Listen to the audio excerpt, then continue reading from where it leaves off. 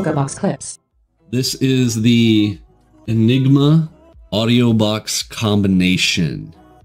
Enigma plus audio box combo. Extremely powerful. Those of you guys who've been trading Enigma, have you guys made the correlation between the power of Enigma plus audio box? What I have noticed, uh, this is actually special for uh, River. Uh, River, you still here? So I see uh, like some of River's failed trades come when all of a sudden you know he's getting into one, but the audio box, like the audio box, is extremely key after an.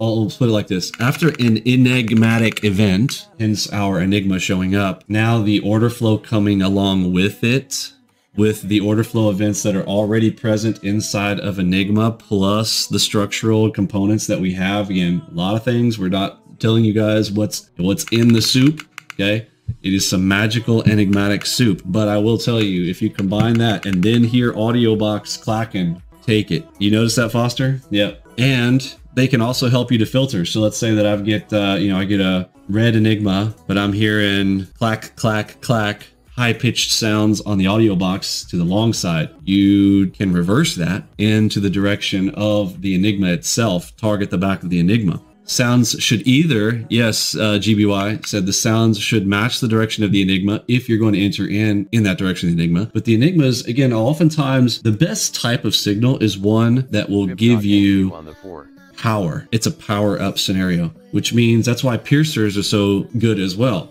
on a pierce of a fill in the blank, like whatever that is, especially in the direction of, say, the MACV. Give an example right here, here, right on a 13. So we know, okay, that's a red. Well, if you were to go short here, well, the stop's back here. So what's a piercer of that? Well, the piercer is the play above. So what if you were to enter, because you see this moving up, you know that the MACV at this point is saying long's favorable on your MACV. And then this breaks, okay, the piercer play, boom so why do I why am I saying that with the combination of the audio boxes? Because if you were to combine the power of the audio box, so let's say that you get a red right here, but you're hearing clack clack clack, high pitched clacks, lower pitched booms. You're hearing clack clack clack clack clack clack, tat tat tat tat tat tat, tat tat tat tat tat. You see the you see the force, you'll feel the force, and by feel the force, the feelings come from the audio box can be used in combination. So certainly, like while you have a green, if you hear the clack clack clack clacks, yes, but uh, I just didn't want to, you know, somebody said, oh, they have to match. Not necessarily. You can go in the direction of the audio box upon any given enigma in general. So just look for that as a strategy for yourself. Hard to do via market replay. Um, it may be less difficult in the future.